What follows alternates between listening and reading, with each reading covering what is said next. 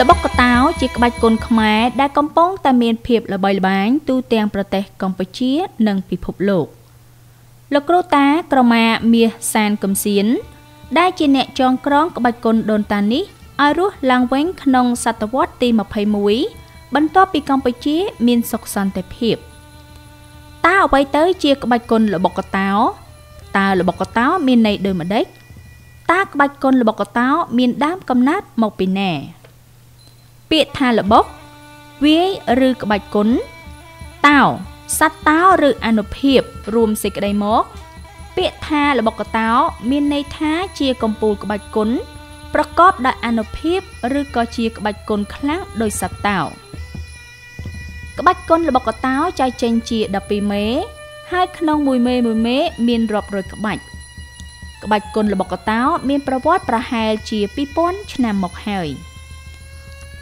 បពែបរោះបានចងក្រងក្បួនខ្នាតយុទ្ធគុណទាំងនេះដោយសរសេរលើសាស្ត្រាគម្ពីរក្រាំងនិងបានឆ្លាក់រូបនៅតាមជញ្ជាំងប្រាសាទជាច្រើន មានបាយ័នបន្ទាយឆ្មាបាពួនព្រះគោលៈតាមការស្រាវជ្រាវនិងចងក្រងក្បាច់គុនល្បុក្កតោជាង1000ក្បាច់ក្នុងចំណោមប្រមាណជាង10000ក្បាច់រហូតបានបោះពុំគម្ពីរក្បាច់គុនល្បុក្កតោ ក្បាច់គុនល្បុក្កតោខ្មែរតាមពិតខ្មែរមានប្រវត្តិជាពូជអ្នកចំបាំងពូជអ្នកប្រយុទ្ធនិងពូជអ្នកគុណនិយមទឹកដីមហានគរដ៏រុងរឿងដល់កំពូលក៏ដោយសារបពៈបរោះខ្មែរជាអ្នកខ្លាំងពូកែខាងសិលសាស្ត្រនិងយុទ្ធសិលបើតាមកំណត់ត្រាលោកជីវតខ្វាន់បានបញ្ជាក់ថាខ្មែរពូកែច្បាំងពិសេសវីរៈមហាក្សត្រខ្មែរសសឹងជាអ្នកចម្បាំងពូកែធ្វើសឹកសង្គ្រាម សឹកសង្គ្រាមសម័យបុរាណត្រូវការអ្នកចេះក្បាច់គុណតាមរយៈភាពរុងរឿងនៃសម័យមហានគរបញ្ជាក់ថាខ្មែរគ្រប់ស្រទាប់តាំងពីស្ដេចដល់រាជសាមញ្ញពិតជាអ្នកប្រកបដោយទេពកោសល្យខាងក្បាច់គុណយ៉ាងសម្បូរបែប។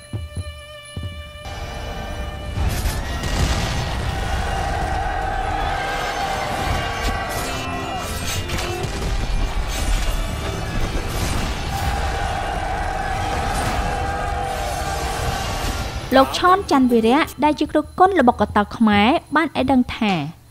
ដោយសារតែមានឈាមជ័រជាអ្នកក្បាច់គុននិងមានចិត្តស្រឡាញ់ផងនោះលោកក៏ចាប់ផ្ដើមវឹកហាត់រហូតក្លាយជាគ្រូបង្រៀនក្បាច់គុនល្បុក្កតោ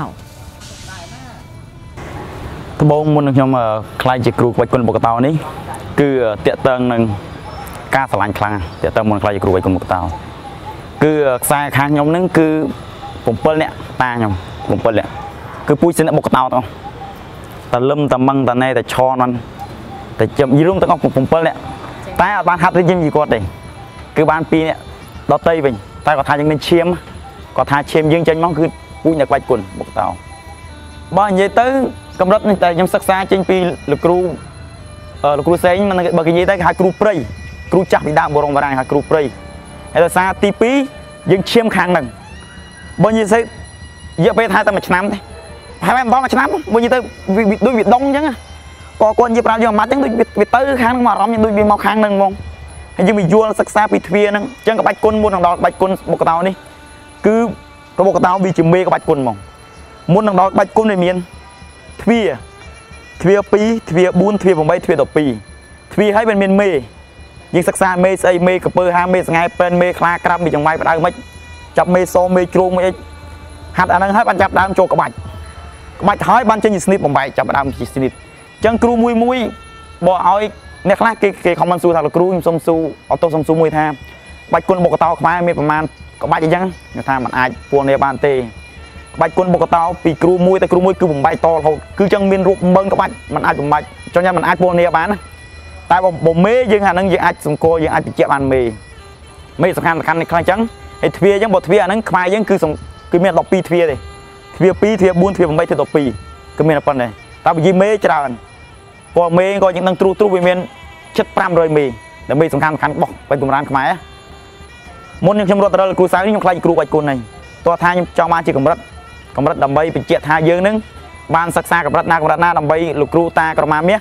គាត់ដូចថាទទួលស្គាល់យើងជាគ្រូមួយទៅពេញសិទ្ធអញ្ចឹងអញ្ចឹងបន្ទាប់ចឹងហើយបានខ្ញុំទៅសិក្សាពីលោកគ្រូសានគ្រូតាសានកំសៀនលោកគ្រូតាក្រមាមាសសពថ្ងៃដែលគាត់ជាបណ្ឌិត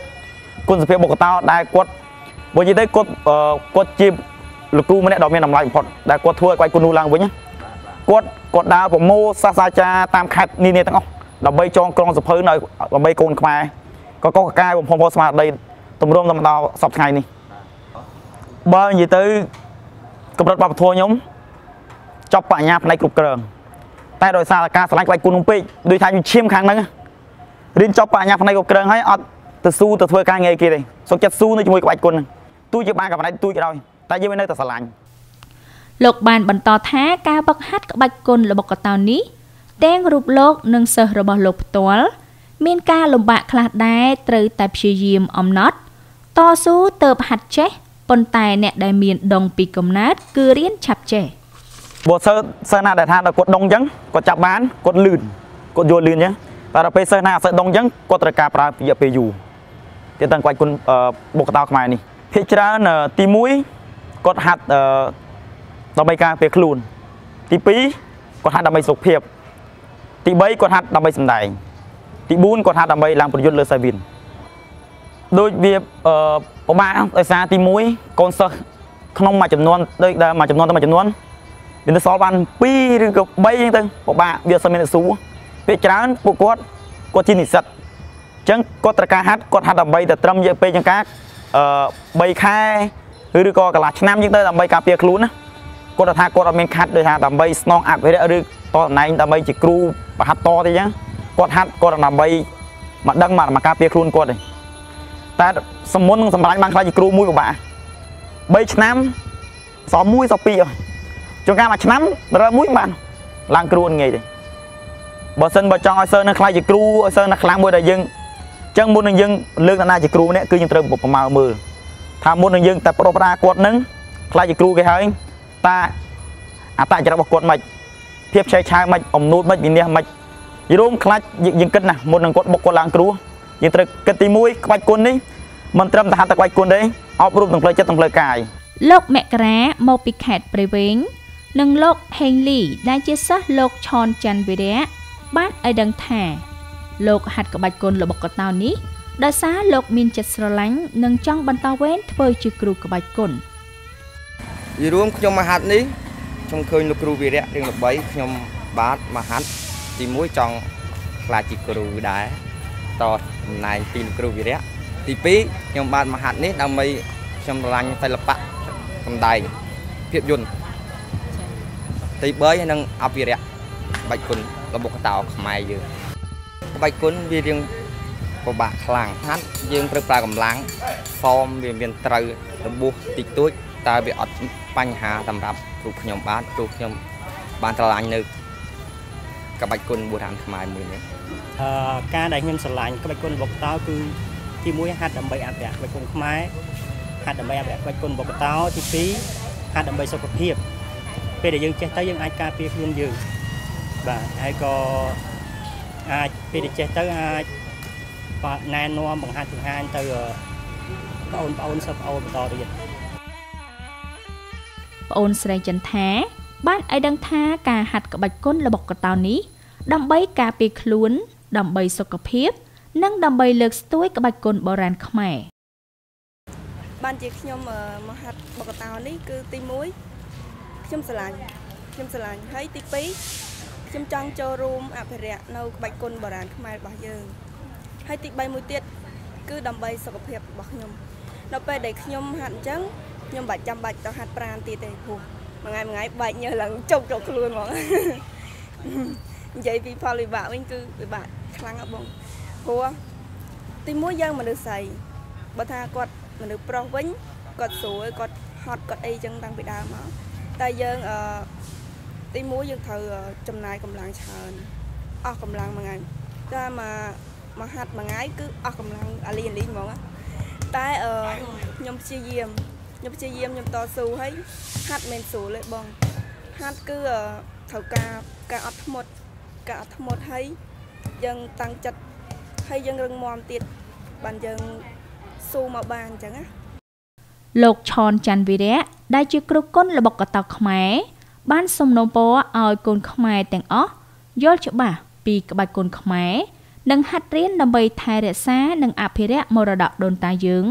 ដែលមានស្រាប់ឲ្យបានគង់វង្សគឺខ្ញុំចង់បំភុំផលស្មារតីកូនខ្មែរឲ្យស្គាល់នៅវប្បធម៌អរិយធម៌ខ្មែរដែលពពាបរោះខ្មែរដែលខំចងក្រងនៅបង្កើតនៃក្បាច់គុនបុរាណខ្មែរមួយនេះខ្មែរគឺជាម្ចាស់នៃក្បាច់គុនគឺជាប្រភពនៃក្បាច់គុនខ្មែរគឺជាក្បាច់គុនអាចារ្យៈ ដែលពពាបរោះខ្មែរបង្កើតនិងចងក្រងក្បាច់គុនមហានគរមួយនេះអញ្ចឹងក្បាច់គុនមកកតោប្រៀបបានទៅនឹងដុំពេជ្រមួយដ៏មានតម្លៃបំផុតតែកូនខ្មែរក៏អត់ទាន់យល់អត់ទាន់សិក្សាយល់អញ្ចឹងបើសិនមកសិក្សាយល់ឲ្យតម្លៃពីក្បាច់គុនមកកតោណាក្បាច់គុននេះគឺមានតម្លៃណាស់អញ្ចឹងបុព្វបុរសខ្មែរខំចងក្រងបង្កើតនៅក្បាច់គុណនេះឡើងហើយយើងគ្រាន់តែជាកូនខ្មែរហេតុអីក៏មកចូលរួមថែរក្សាអភិរក្សទាំងអស់គ្នា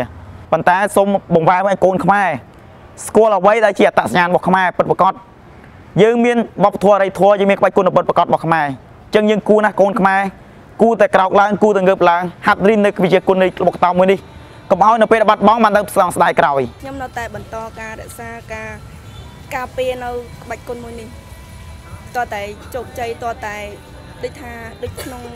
លខោនខោលដែរតតែមានការបញ្ចូលជាបេតិកភណ្ឌដូចថាដល់កោដៅអញ្ចឹងទៅក៏ខ្ញុំសប្បាយចិត្តទីចុងក្រោយដែរខ្ញុំ សូមសំណូមពរដល់ប្រជាជនទាំងអស់ប្រជាជនខ្មែរយើងដែលនៅក្នុងប្រទេសឬក្រៅប្រទេសចូលរួមថែរក្សាការពារសម្បត្តិវប្បធម៌មរតកមួយនេះនិងជួយលើកស្ទួយផ្សព្វផ្សាយបន្តបន្ទាប់តតែបានជោគជ័យឲ្យពិភពលោកបានស្គាល់ចា៎សូមជួយអភិរក្សនិងឲ្យហាត់ក្បាច់គុនបុកតោខ្មែរដើម្បីជាការអភិរក្សដល់ មរតកក្បាច់គុនខ្មែរនិងជួយដើម្បីសុខភាពខ្លួនឯងតាមបានក្បាច់គុនល្បុក្កតោត្រូវបានដាក់បញ្ចូលឲ្យកងទ័ពរបស់ព្រះរាជាណាចក្រកម្ពុជាទាំងអស់